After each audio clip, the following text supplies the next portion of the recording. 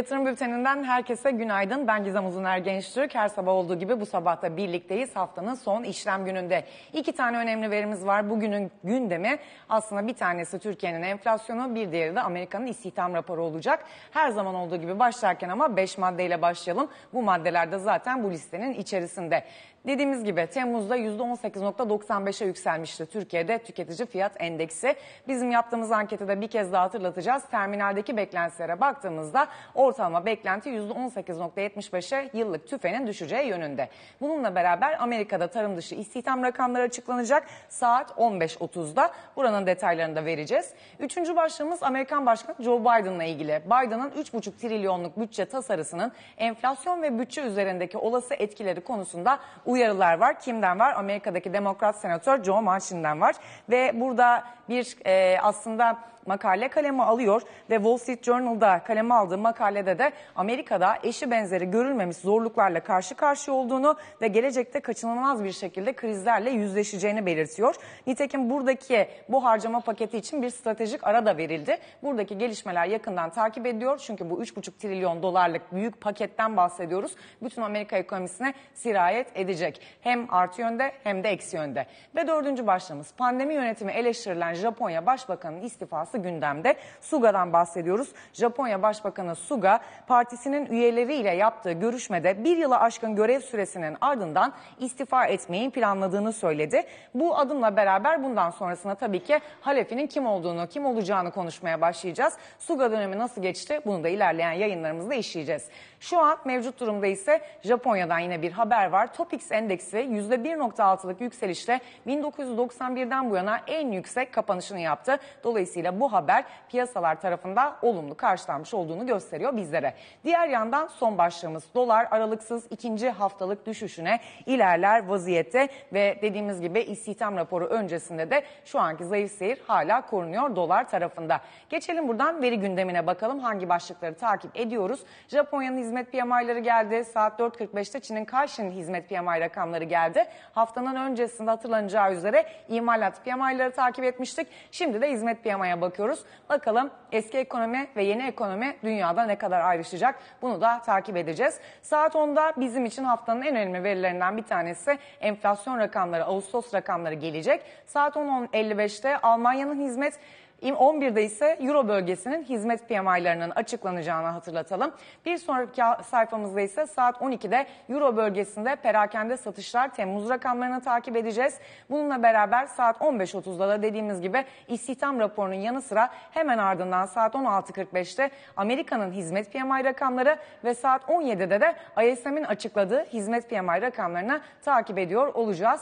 Saat 15.30 itibariyle de Amerika'nın gündeminin oldukça yoğun olduğunu söyleyelim. Bu gündem öncesinde ise Amerika piyasaları artılarla tamamladı dün günü. Hatta Avrupa'da gördüğümüz yatay yukarı kapanışların ardından Amerika'daki kazanımlar biraz daha belirgindi. Dün Avrupa'da %0.11'lik değer kaybına uğrayan IBEX haricinde kalan bütün borsalarda yatay bir kapanış ya da sınırlı prim olduğunu söyleyebiliriz. Amerika tarafına baktığımızda ise Dow Jones'ta %0.37'lik prim gördük. 35.443 puandan dün günü tamamladı. S&P 500 %0.28'lik primiyle beraber 4536 puandan, Nasdaq ise %0.14'lük primiyle 15331 puandan dün günü tamamladı. Bugünün hikayesine baktığımızda ise karışık bir tablo gelecek karşımıza. Hisse senetleri tarafına baktığımızda borsalarda Hong Kong Hang Seng eksi de %0.7, Singapur borsası %0.26 eksi de, Japonya'nın Nikkei %2.06 artıda,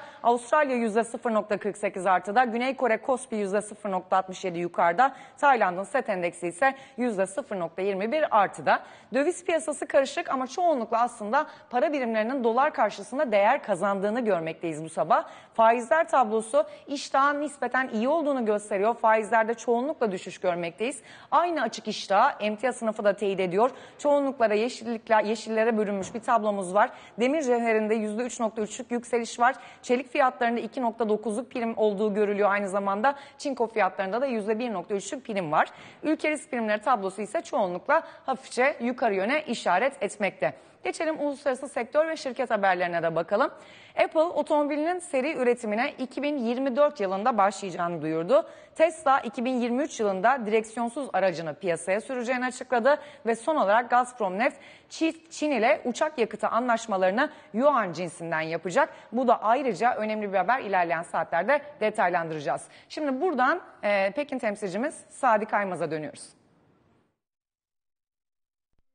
Asya Pasifik'in lideri Philip Capital sunar.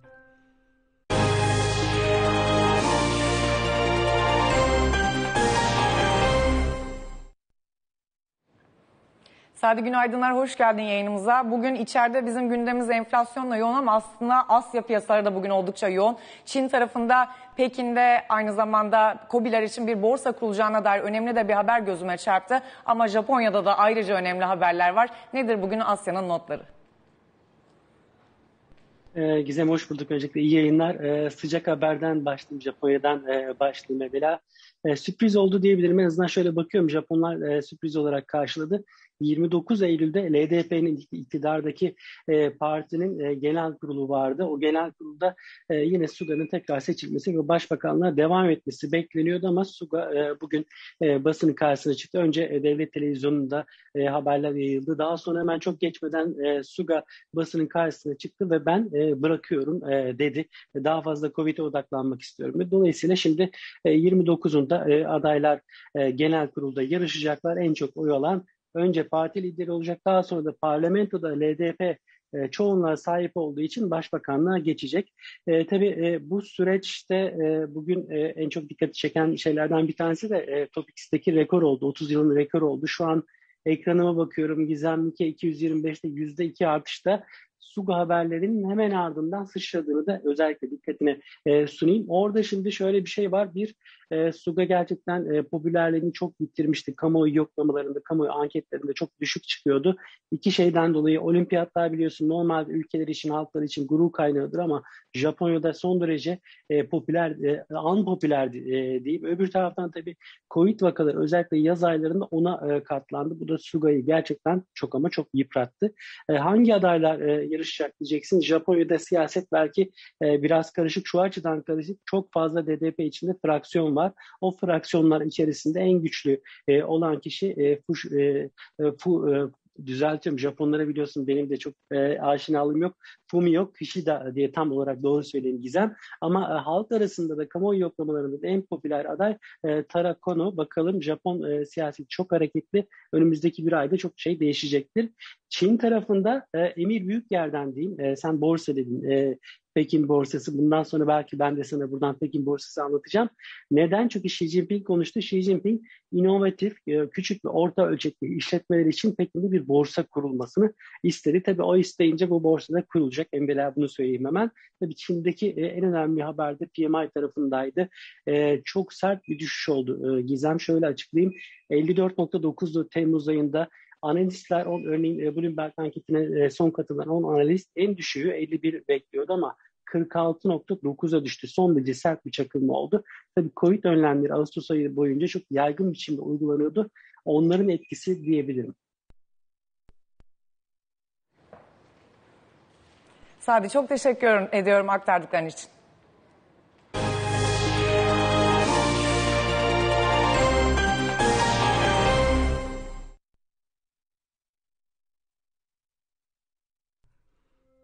Asya Pasifik'in lideri Philip Capital sundu. Evet Pekin temsilcimiz Sadi Kaymaz'ın da notlarını aldık Asya'ya dair. Şimdi buradan Amerika'ya bakacağız. Amerika'dan açıklanacak e, istihdam raporunun detaylarında ne bekleniyor? Piyasada şu an Ağustos ayına dair beklentilere baktığımızda tarım dışı istihdam rakamında 725 bin kişilik bir artış beklentisi var. Daha önceki rakam neydi? 943 bin kişilik bir artış yaşamıştı. İşsizlik oranı %5.4 seviyesinde şu an Amerika'da. Bugünkü beklenti ise işsizlik oranının %5.2 seviyesine gerileyeceği yönünde. Ortalama saatlik kazançlar bir önceki ay %0.4 aylık bazda artış göstermişti. Bu ayın beklentisi ise %0.3 artması yönünde. Bunun da yıllığı %4 olan hali hazırdaki ortalama saatlik kazancın yıllık artışının %3.9'a bir miktar ivme kaybedeceği yönünde bir beklenti var. İş gücüne katılım oranı ise mevcut durumda %61.7 seviyesinde. Onun Ağustos ayı itibariyle %61.8 seviyesine geleceği yönünde bir beklenti var. Diğer verilere de baktığımızda aynı zamanda Amerika'dan hizmet PMI rakamlarını alacağımızı söylemiştik. Bu son okuma 55.2 seviyesine sabit kalması bekleniyor. Yani revize gelmesi beklenmiyor. ISM tarafından açıklanan hizmet rakamlarında ise 64.1 seviyesinden 61.7 seviyesine gerileyeceği yönünde Ağustos ayında bir beklenti var. Piyasadaki beklentilere de bakalım aynı zamanda 725 bin kişilik bir artış beklentisi olduğunu söylemiştik. Dikkat etmek gerekirse sarıyla gösterdiğim kısımda şimdiye kadar e, terminale girilmiş olan Amerika'nın istihdam raporuna dair beklentiler var. Şimdiye kadar nasıl gelmişti diye görüyoruz burada. Dikkat etmek gerekirse Haziran ayında ve aynı zamanda Temmuz ayında piyasa beklentisinin üzerinde rakamlar karşılamıştık. Şimdi mevcut durumdan bir miktar zayıflayacağı yönünde bir istihdam raporu beklentisi olduğunu da söyleyebiliriz. Beyazda gördüğümüz kısımda ise terminal kullanıcılarının hepsinin e, beklentisini paylaşabildiği e, bir başka e, görsel var, bir başka beklenti var. Orada da 866 bin kişilik daha geniş katılımlı bir anketin sonucundan bahsediyor. Yani piyasa tarafında 866 bin kişilik bir beklenti var. Terminalde kurumların beklentisine bakacak olursak, tüzel kişilerin beklentisine bakacak olursak 725 bin kişilik bir artış olacağı yönünde bir beklenti var. Kısacası Amerika'nın tarım dışı istihdam rakamında bugün 725 bin kişilik bir artış beklentisi olduğunu söyleyebiliriz. Geçelim buradan bir sonraki tablomuza bakalım. Bloomberg Araştırma Enflasyon Anketi'nin tamamlandığını söylemiştik. Bugün de enflasyon rakamları açıklanacağı için bir kez daha hatırlatalım. Ne bekleniyor bugün Ağustos enflasyonundan? Aylık %0.7'lik bir artış beklentisi var. Bu durumda mevcut durumdaki %18.95'lik enflasyonumuzun %18.7'ye hafifçe gerileyeceği yönünde bir beklenti çıktı. En düşük beklenti %0.3'lük bir artış olacağı yönündeydi. Bu durumda %18.3'e yavaşladığını göreceğiz eğer bu beklenti gerçekleşirse. En yüksek beklenti ise %1.1'di. Bu durumda da neredeyse şu an bulunduğu seviyelerde kalacak enflasyon rakamı Ağustos ayı için. Geçelim buradan bir sonraki tablomuza bakalım.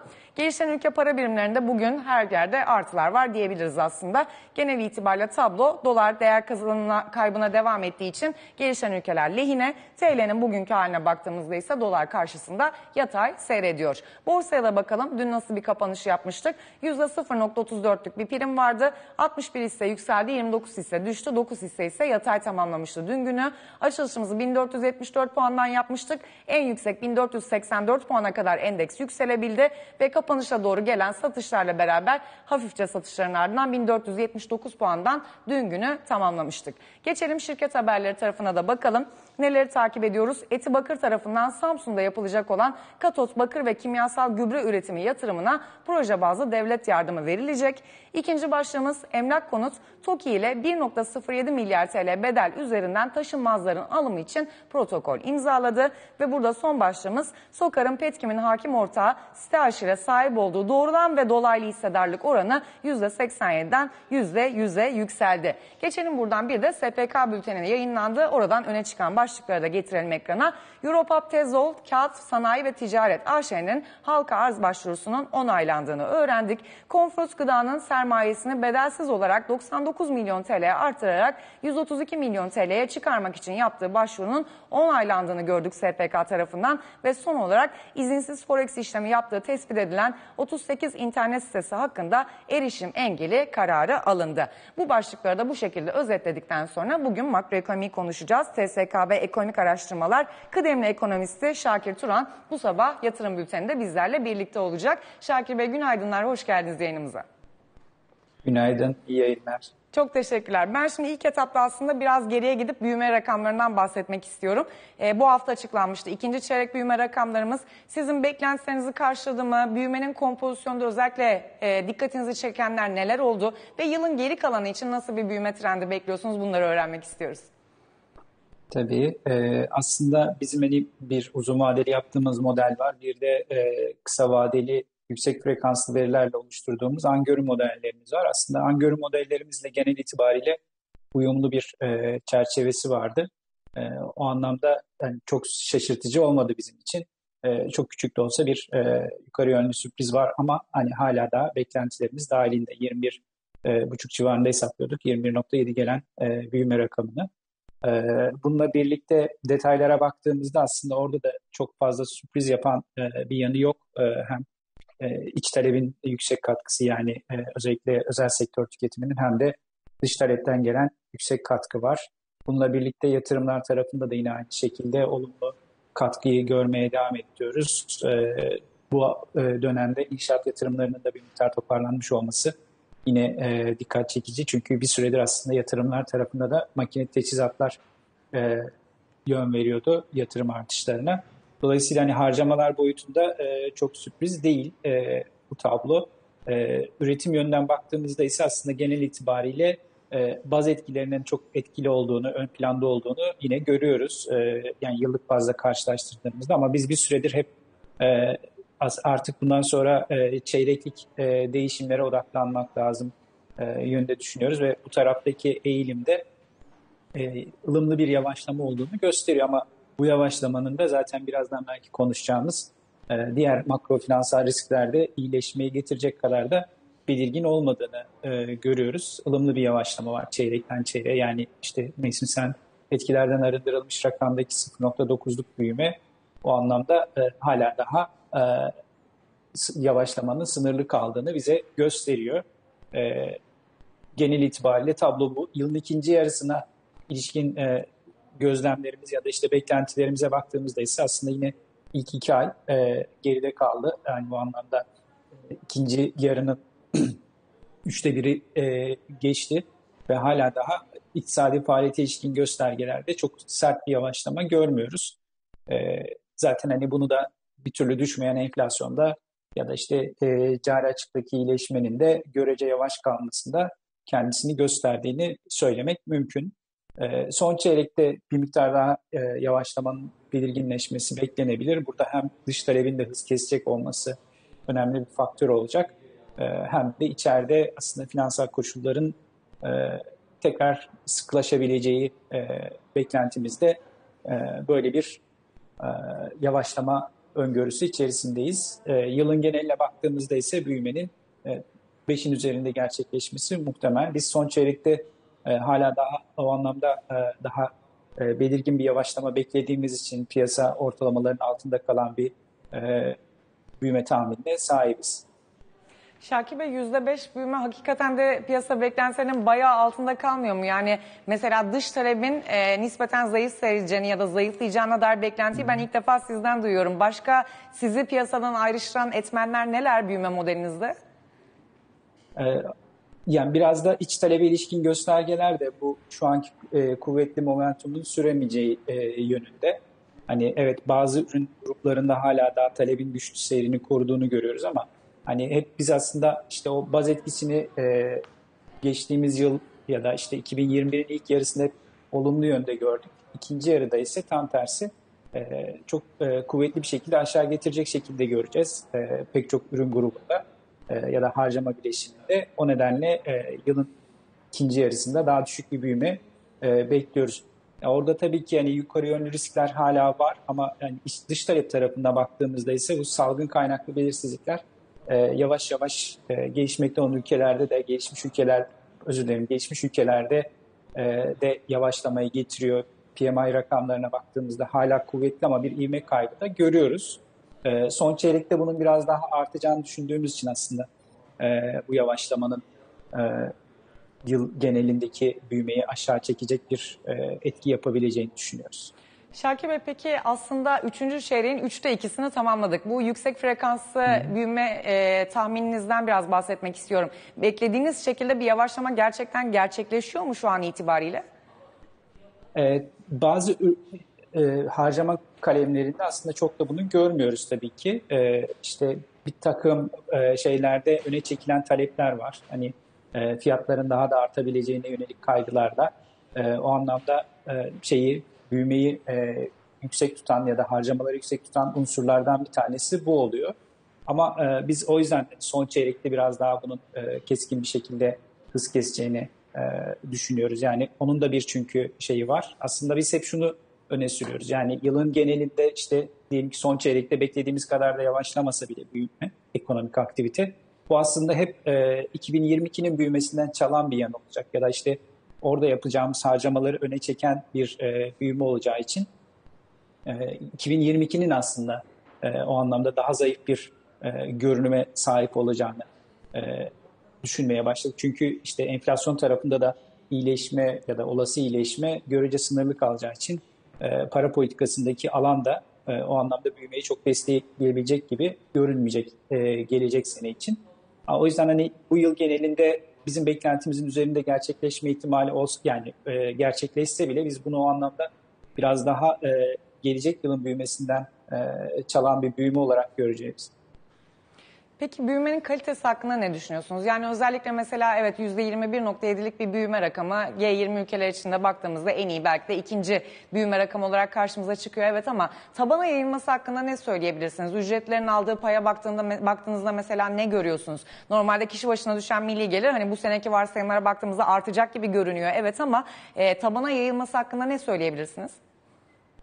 E, tabii bu hani bir e, rakam açıklandığından beri hemen herkes tarafından dile getirilen e, şüpheler arasındaydı ya da işte eleştiriler arasındaydı. E, ama zaten hani, Türkiye'nin o anlamda büyümesinin e, genele yayılmadığı, bazı faaliyetler üzerinden yürüdüğü e, birkaç senedir e, genel genel olarak gördüğümüz bir şeydi. Yani sadece 2021'in e, olgusu değildi. 2021'de tabii ki bir e, aslında geçen seneki kredi genişlemesinin hem Türkiye'de hem dünyada e, uygulanan destek politikalarının devam eden etkilerini de görüyoruz. Dolayısıyla hani bu e, büyümenin sürdürülebilirliği o anlamda gelecek yıllar için aynı şekilde bir soru işareti olacak.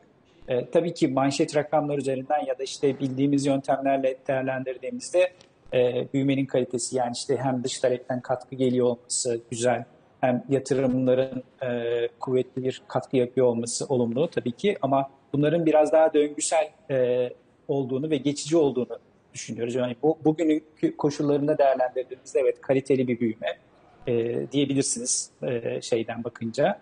E, ama tabii ki genele yayılma meselesi az önce de söylediğim gibi zaten belli başlı ürünler üzerinden ya da işte harcama grupları üzerinden ya da faaliyetler üzerinden yürüdüğü için e, o anlamda çok da kaliteli olmadığını da söyleyebileceğiniz yanları var tabii ki. Biz daha çok burada asıl önemsediğimiz aslında sürdürülebilirlik meselesi. Yani onu da e, az önce de söylediğim gibi e, önümüzdeki dönemde daha yavaş e, büyümeyi e, karşımıza çıkaracak bir görünüm bence söz konusu. Peki bu mesela uzunca bir zaman hani yüksek enflasyonu koruyan ülkelerden bir tanesi Türkiye oldu. Biz hani yüksek enflasyonu sürdüre, sürdürebilen ülkeler arasındayız. Ama diğer yandan büyüme rakamlarımız hep volatil oldu. Frekansı yüksek oldu. Kimi zaman çok belirgin oldu. Kimi zaman biraz daha durağan oldu. Sizce Türkiye ekonomisine baktığınızda bu normal mi? Yani böyle mi olması lazım hep? Bizim enflasyonumuz hep yüksek kalacak. Büyüme de olabildiğince yüksek kalacak. Yani burada büyüme e, olsun enflasyon yüksek olsa da olur mu olarak bakmamız lazım yoksa ikisi arasında bir tercih mi yapmak lazım? Nedir sağlıklı kompozisyon?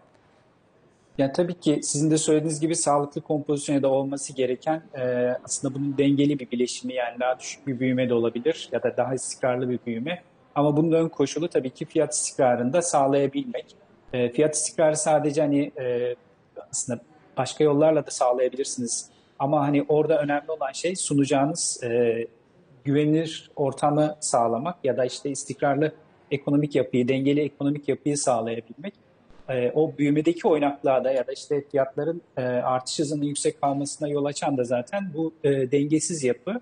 Aslında o hani şu anda gördüğümüz yüksek büyüme de o dengesizliğin bir sonucu. İşte bazı ürünlerden kaynaklanan ya da bazı faaliyetlerden kaynaklanan e, yüksek katma değer ya da işte e, büyüme e, aynı şekilde o ürünler e, üzerinden de yüksek enflasyon olarak karşımıza çıkıyor. Aslında hani her haliyle e, şu anda aslında e, Türkiye ekonomisi birkaç senedir de devam eden bir şekilde dengesiz bir e, yapı içerisinde kısa dönemde dengelenmeler yaşıyor ama çok da sürdürülebilir olmuyor. İşte 2019 yılındaki yavaşlamayı hatırlayalım. E, o dönemdeki işte enflasyonun da bir miktar gerilemiş olması ama sonrasında zaten devam eden bir e, yükseliş eğilimine tekrar dönen bir e, hali var.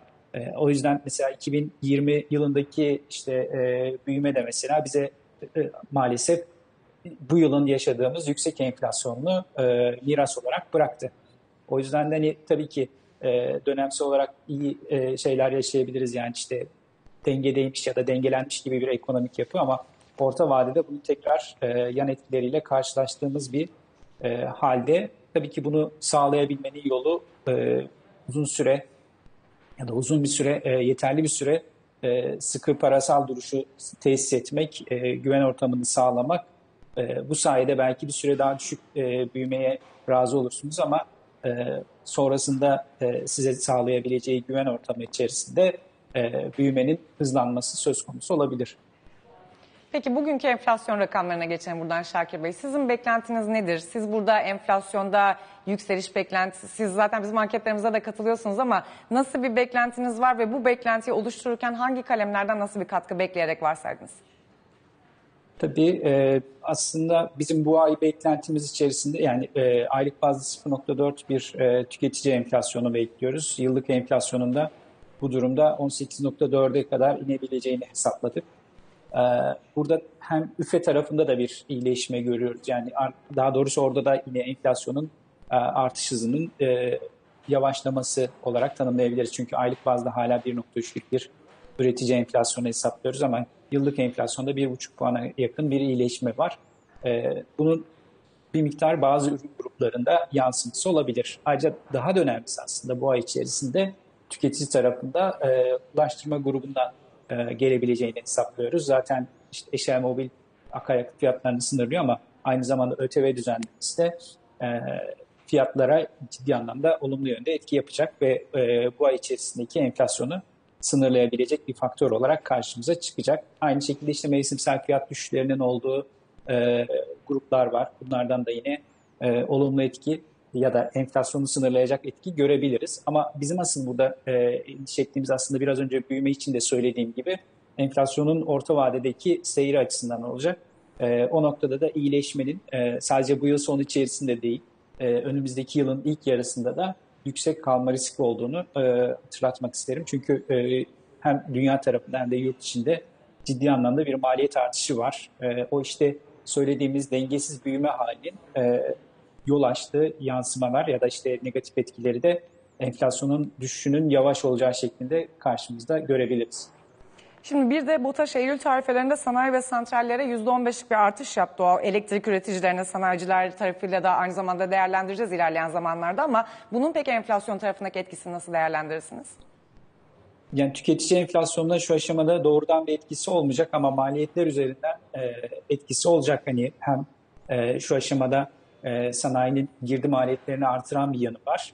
E, dolayısıyla bunun işte az önce de söylediğim gibi o orta vadedeki iyileşme beklentimizi sınırlayacak bir yanı var. Ama kısa vadede e, tüfeğe doğrudan bir etkisi olmayacak. Bunu e, muhtemelen e, Ekim ayı, yani bu ay sonunda belki yapılacak bir e, fiyat ayarlaması ya da bir zamda e, tüfeğe yansımasını görebiliriz ama e, onun da muhtemelen e, hani geçtiğimiz günlerde işte Merkez Bankası'nın da çağrıları ekseninde e, enflasyonla mücadele kapsamında belki sınırlı tutulması söz konusu olabilir. Yani aynı oranda tüketiciye yansıtılmama ihtimali bizce kuvvetli.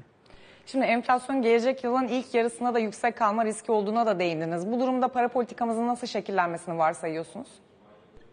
Ee, biz aslında son çeyrekte bir indirim olabileceğini düşünüyoruz. Yani Eylül ihtimali de, e, Eylül'de indirim ihtimali de hani tümüyle kalkmış değil. E, ama e, çok azaldığını ya da çok düşük olduğunu söylemek mümkün Merkez Bankası'nın söylemlerinden hareketli. Ama burada hala her şey çok önemli olacak. Hem bugün açıklanacak enflasyon rakamı hem de e, toplantıya kadarki finansal koşullar son derece belirleyici olacak. E, ama sonrasında hani son çeyrekte indirime e, gitme ihtimali daha kuvvetli görünüyor. E, indirim gelecek yılın ilk yarısında da devam etme ihtimali az önce ya da işte olasılığı ya da e, ne ölçüde olacağı az önce de söylediğim gibi enflasyonun ne ölçüde düşeceğine bağlı olacak yurt içinde.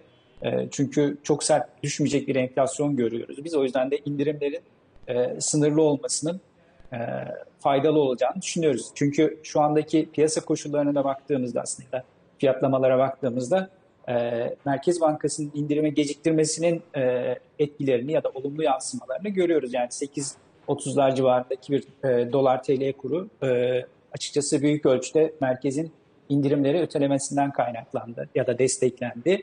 Tabii ki turizmdeki ya da işte cari dengedeki toparlanma ya da işte küresel koşulların etkisi var ama bu da çok önemli bir faktördü. E, o yüzden ne kadar geç ve yavaş indirim olursa e, gelecek yılda önü o kadar açılabilecek bir e, Merkez Bankası olduğunu düşünüyorum. Çünkü o aynı zamanda enflasyondaki iyileşmeyi de benim az önce söylediğim o e, sınırlı olabileceği yöndeki kaygılarımı da hafifletebilecek de bir yanı olacaktır. E, çünkü kur üzerindeki baskı görece sınırlı kalacak ve aynı zamanda e, para politikası da daha sık olduğu için e, aktarım mekanizması üzerinden de olumlu yansımalar ol, olabilecektir. Ama erken ve hızlı indirimlerin e, tam tersi o kaygılarımı ifade ettiğim şekilde daha yavaş düşen bir enflasyon ve Merkez Bankası'na da daha sınırlı bir e, indirim alanı bırakan bir çerçeve sunması mümkün. Şakir Bey çok teşekkür ederim katıldığınız için. Ben teşekkür ederim. TSKB Ekonomik Araştırmalar kıdemli ekonomisti Şakir Turan'ı ağırladık yatırım bülteninin bu bölümünde. Şimdi kısa bir araya gidiyoruz.